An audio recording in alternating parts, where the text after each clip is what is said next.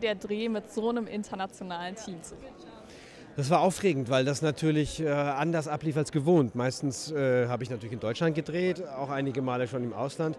Hatte ich das Glück, aber dann ist man trotzdem nur mit, nur mit einer Sprache befasst meistens. Und jetzt war das so international, dass am Set wirklich, weiß nicht wie viele, acht, zehn Sprachen gesprochen wurden. Fast ganz Europa war dabei.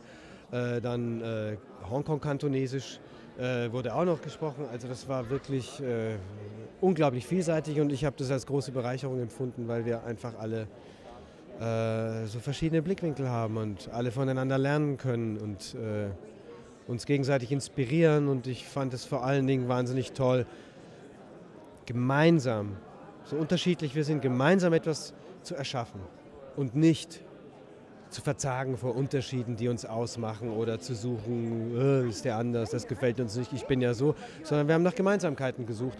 Und ich finde, so sollte man durchs Leben gehen. Das schafft Toleranz und Freude. Und dann ist ja die Besonderheit jetzt auch bei 1899, dass ihr mit dieser Stagecraft-Technik gearbeitet habt. Ähm, wie war denn das so, auf so einem, naja, fast realen Boot zu drehen? Ja, das war aufregend. Das war unglaublich, was für eine Illusion da äh, erschaffen werden kann durch dieses Volume, durch diese neue Technik. Mit den LED-Bildschirmen, die hinter uns waren.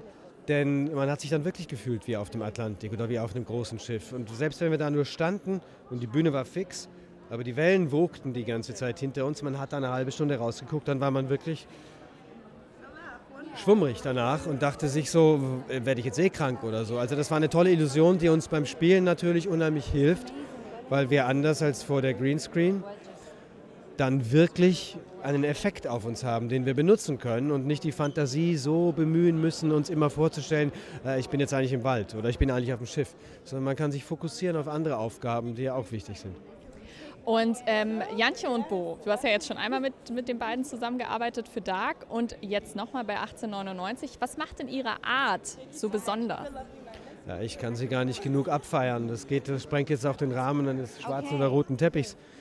Ähm, man kann ihnen einfach, und das ist besonders, man kann ihnen blind vertrauen. Ich vertraue ihnen blind. Sowohl Jantje, was die Geschichte äh, anbetrifft. Sie hat immer die Zügel genau in der Hand. Bei jedem kleinen Pfad, auch bei jedem kleinen Umweg, den sie links oder rechts schlägt, weiß man, sie wird in jedem Fall auf den wichtigen Punkt zurückkommen, auch wenn der erst Wochen später gedreht wird, auch wenn er erst drei Episoden später in der Serie passiert. Und das ist atemberaubend. Und Bo ist am Set eine Instanz, eine feinfühlige und vor allen Dingen ist er in der Lage, blitzschnell ganz wichtige Entscheidungen zu treffen ohne groß nachzudenken und zwar treffsicher und das ist eine große Qualität. Da stellt sich mir natürlich die Frage, genau wie bei Dark. Wisst ihr oder wusstest du damals schon, wie die Serie ausgehen wird oder bleibt es auch für euch als Schauspieler und Schauspielerinnen offen? Also bei Dark kannte ich die erste Staffel.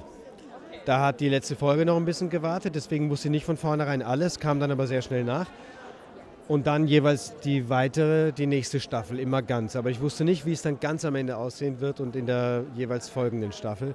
Genauso ist es hier. Ich kannte von Anfang an die ganze erste Staffel, die wir jetzt gedreht haben. Und was danach kommt, steht in den Sternen. Okay, naja, vielleicht ist das ja fürs Schauspiel besonders wichtig, wenn man dann nicht weiß, wie es ausgeht, weil.